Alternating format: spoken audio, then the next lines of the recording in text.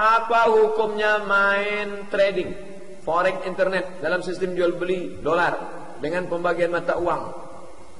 Berkembang teknologi, maka transaksi akan terus berkembang. Dulu tak ada orang tahu e-commerce, sekarang berkembang forex trading. Maka tiga, kalau di dalamnya ada risk tipu, di dalamnya ada zulm aniaya, di dalamnya ada gharar gambling ketidakpastian, haram. Apakah mesti ada tiga-tiganya? Tak mesti. Salah satu ada haram. Kalau tidak ada, boleh. Duduk. Ajak itu pakar trading forex, e-commerce. Tanya, ini ada tak tiga? Tiga tak ada, satu satu ada. Tinggalkan. Jangan lanjutkan. Haram. Duit haram, haram juga tempatnya. Mungkin tak di dunia, di akhirat kena. Duit haram itu akan keluar juga dengan cara yang haram. Nauzubillah. Apa hukum jual beli valuta asing seperti dolar? Karena ada yang berpendapat bahwa perbedaan selisih ketika kita membeli dan menjual dolar tersebut dianggap sesuatu yang syubhat. Enggak, boleh saja. Karena memang kan nilainya berbeda. Uang itu sama, ya di, di, uang itu kalau berbeda nilai memang ada kursnya itu tidak ada masalah. Tidak ada masalah karena itu nilai sama dengan gandum ditukar sama e, misalnya ada beras ketan sama beras biasa. Gitu kan? Dua-dua sama jenisnya beras tapi harganya memang beda. Karena memang ini lebih mahal, mungkin lebih susah. Seperti itulah. Jadi kalau kita gandum misalnya harganya 20 ribu per kilo, beras biasa 10 ribu, untuk ditukar supaya tidak riba harus 2 kilo beras biasa diganti dengan sekilo e, beras ketan misalnya. Karena nilainya harus sama, sama dengan kurs uang di sini. Boleh tolong jelaskan apakah hukum menjalankan perniagaan urus niaga forex melalui internet? Anak sebut begini ya. Anak ini dengar betul-betul. Forex ni sama dengan forex yang ada nah mata wang, pertukaran mata wang dekat luar tu. Perniagaan forex ni kalau dalam internet dia masukkan dalam dia masuk memang ada duit. Duit tu margin dipanggil. Margin dia tu ada, duit tu ada. Maka diharuskan dalam Islam perniagaan tersebut. Jangan ada unsur judi, jangan ada unsur riba, jangan ada unsur gamble.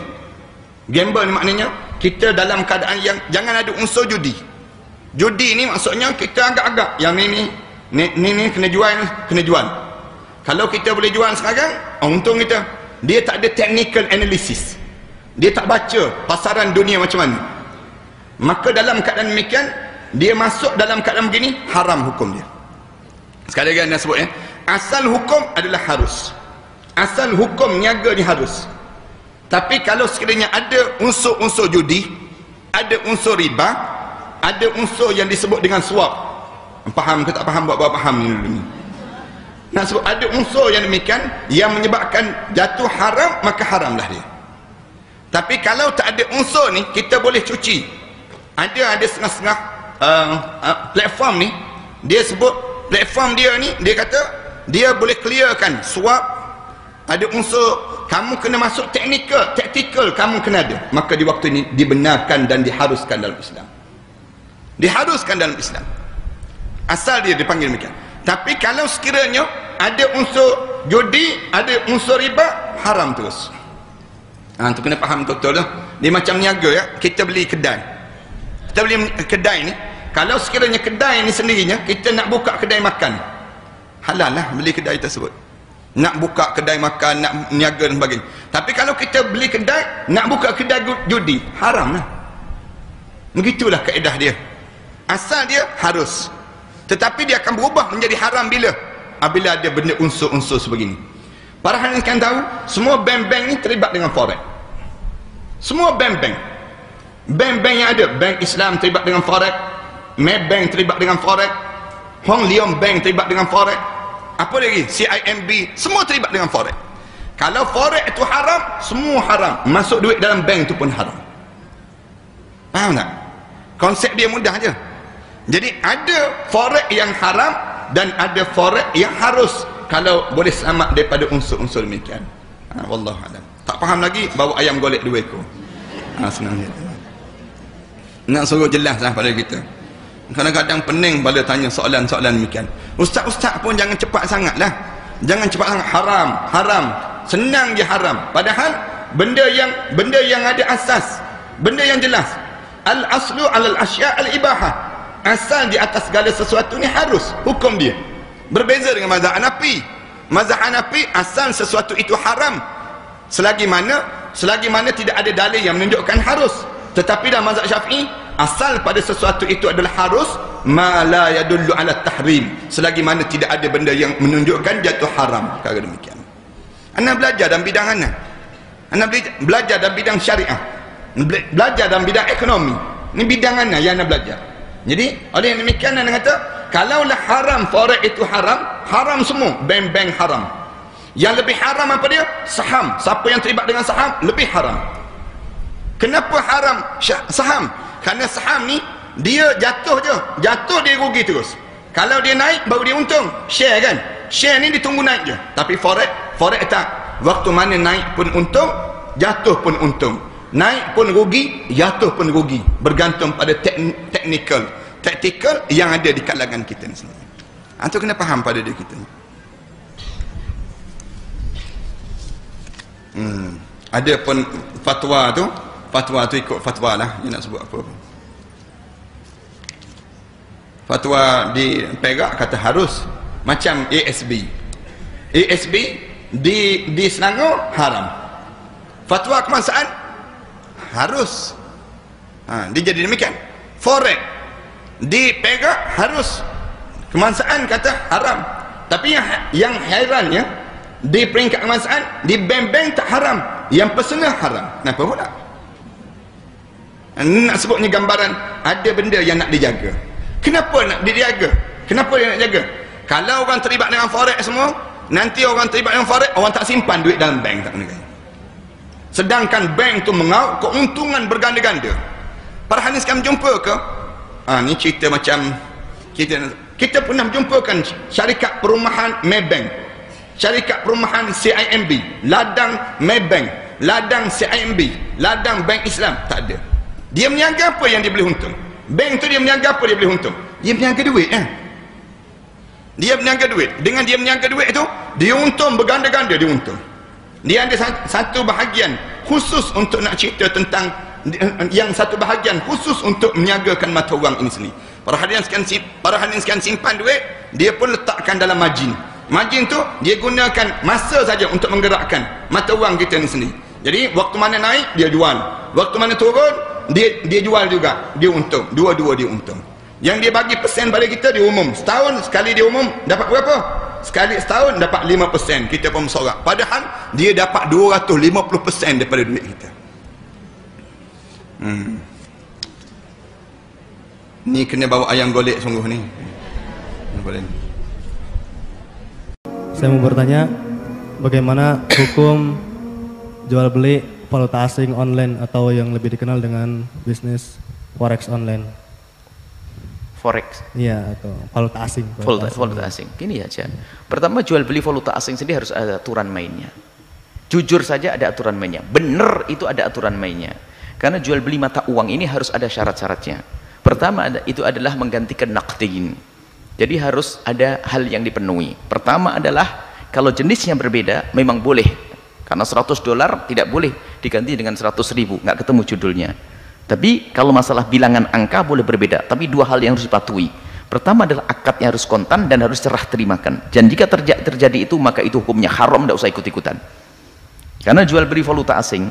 Jadi kalau saya jual beli duit, uang, maka dua hal yang harus dipenuhi. Pertama adalah karena jual beli uang itu bukan rupiah dengan rupiah kalau rupiah dengan rupiah harus sama biarpun niat anda baik mau ngasih hadiah sama orang cari duit receh 100 ribu ditukar 95 ribu itu riba. Kan sekarang model kan menjelang hari raya 100 ribu dikasih tuker duit receh berapa? 95 ribu itu riba. Karena rupiah dengan rupiah harus sama kalau ditukar hukumnya riba haram. Ini banyak terjadi kalau anda ingin memberi jasa kepada mereka ya lain. 100 ribu 100 ribu. Ini jasanya. Begitu. Karena anda membelikan ke saya ke tempat yang sana mencarikan mengumpulkan. Saya pengen cari duit yang 2 ribuan. Belit banget 2 ribu ngasih sama orang? 2 ribuan misalnya. Nah itu nggak boleh 100 sama 9 ribu. Ini kan banyak kalau menjelang hari raya ya. Haram itu. Sama yang jual valuta jual jual luar jual real sama kalau ternyata serah terima itu adalah nunda pembayarannya haram ada ribayat ada riba nasiah di situ. Ribayat itu adalah tidak serah terimakan langsung. Makanya model-model begitu nggak dibenarkan itu semuanya. Itu kan bukan budaya kita kaum muslimin. Saya akan ikut-ikutan. Agama kan tidak ikut-ikutan. Bangkrutnya banyak juga bohongnya juga banyak lagi. Ini yang jelas saja masih harus banyak aturan Sudahlah bisnis yang jelas-jelas saja. Cuman biasanya gaya, wah ikut bisnis model keren. Biarpun bangkrut tetap keren. Itu kan model-model begitu kan paham gitu gaya. Baik ya. Jadi dua hal. Kalau jual beli valuta dua mata uang harus dua yang dipenuhi. Yang aslinya tiga kalau jenisnya sama. Dolar sama dolar harus sama bilangannya angkanya tapi kalau beda dolar dengan rupiah, dolar dengan ini dan sebagainya, maka dua syarat harus penuhi. Kalau tidak masuk riba. Pertama, transaksi harus halan kontan dan serah terimanya harus Anda memberi, saya memberi. Terus kalau besok kirim ya fulusnya transfer nggak bisa, masuk bab haram. Kalau pakai transfer namanya nanti duitnya saya terima sekarang, nanti kiri, saya kirim nanti. Itu masuk riba namanya ribayat, tidak serah terima kalau transaksinya saya akan beli uang dolar dengan rupiah ya. Tapi nanti saja akadnya tidak kontan namanya riba nasiah haram di situ. Jadi seperti itu. Kalau terpenuhi ini boleh model apa saja boleh. Dan kelihatannya dua hal ini tidak akan terpenuhi dalam bisnis itu. Maka tidak usah ikut-ikut. Di samping anda takut dibohongi nanti anda bukan bagian itu saya jual beli kerupuk aja kalau truk-trukan kan duitnya banyak ya. Tidak usah macam-macam gaya valuta asing segala macam dan belum lagi haramnya yang mengerikan. Memang sekarang ada orang membuat membuat uh, kebohongan tuh dengan cara macam-macam. Belum lagi nanti uh, apalagi sekarang berusaha dan segala macam berusaha efek apa macam-macam itu lihat. Itu perlu ditinjau dari segi hukum. Jadi begini loh idahnya betul bertanya semacam ini. Jangan anda masuk pada sebuah usaha bisnis kecuali anda sudah tahu hukumnya. Sebab apa? Yang punya program bisnis itu adalah yang punya program yang macam-macam ini adalah tidak semua orang beriman dan Islam. Karena dunia ini global sudah di era global ini. Mungkin produk bukan produk kita tapi produk di luar Islam. Apa yang terjadi kalau kita ikut-ikutan saja? Anda tidak punya kepribadian dong. Hanya ada begini ngikut ada begini ngikut haram ngikut masuk neraka nyebur bareng ya enggak dong. Umat Islam punya pendirian. Ini saja. Semoga Allah menjaga kita semua. Jadi begini kalau kita berbicara tentang hukum dalam Islam pertama adalah ada perintahnya itu wajib. Kan? ada larangannya itu haram. Kan? ini kan kaidah umum. Kalau tidak ada tidak ada larangan tidak ada perintah berarti itu hal-hal yang dibolehkan. Nah sekarang ada nggak Al-Quran yang mengatakan bahwa forex trading itu nggak boleh? Ada nggak hadisnya yang mengatakan forex trading nggak ada? Nggak ada. Berarti itu adalah masalah yang tidak ada larangannya dalam Al-Quran tidak haram berdasarkan Al-Quran dan tidak ada larangannya dari eh, hadis-hadis Rasulullah berarti tidak haram pula berdasarkan hadis-hadis Rasulullah. Nah sesuatu yang tidak ada larangannya dan tidak ada perintahnya dan kalau itu berbicara dalam masalah muamalah ya sah-sah saja. Artinya boleh dilakukan tergantung konteks orang yang melakukannya. Selama kaidah umumnya selama perbuatan itu tidak mengakibatkan mudarat dalam artian tidak menzalimi dan tidak dizalimi atau tidak menyebabkan dia rugi atau merugikan orang lain. Itu fenomena fenomena intinya. Kalau kemudian apa namanya uh, haram jadi sesuatu yang tidak yang tidak ada larangannya itu adalah halal boleh selama tidak ada yang menyebabkan tidak ada faktor lain yang menyebabkan dia haram